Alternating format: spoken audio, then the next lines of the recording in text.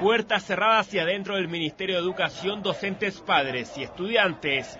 Cerca de una hora de ocupación como anticipo del paro nacional del Colegio de Profesores, convocado para este miércoles y jueves. El Ministerio no nos ha entendido. Nosotros queremos solución hoy día. Si hoy día el gobierno nos responde respecto al petitorio de la agenda corta que nosotros le hemos presentado, nos responde, pero positivamente, nosotros no tendríamos necesidad de hacer el paro. Si le dan respuesta al colegio de profesores, nos dan respuesta a los padres y apoderados, nos dan respuesta a los estudiantes, a todos los actores que nos hemos movilizado. El ministro Izaguirre ha paseado lamentablemente los movimientos sociales en el momento de construir la reforma.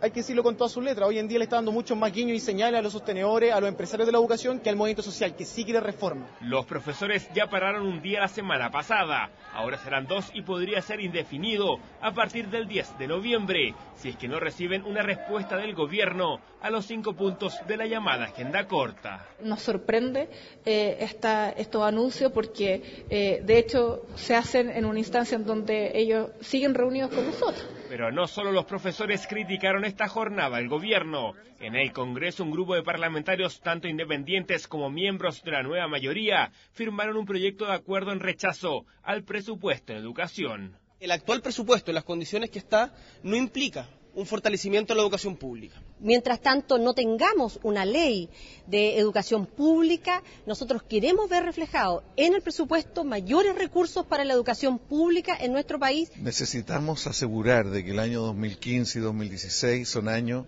en que el esfuerzo político, cultural, social esté en fortalecer la educación pública.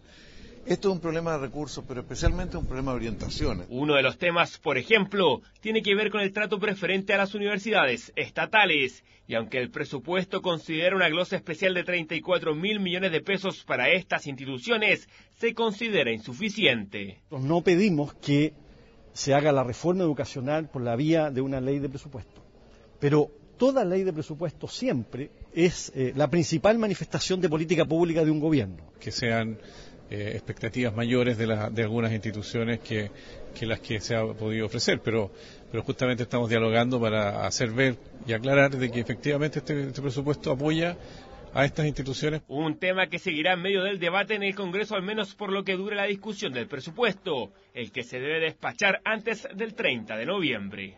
Nicolás Oyarzún, CNN Chile.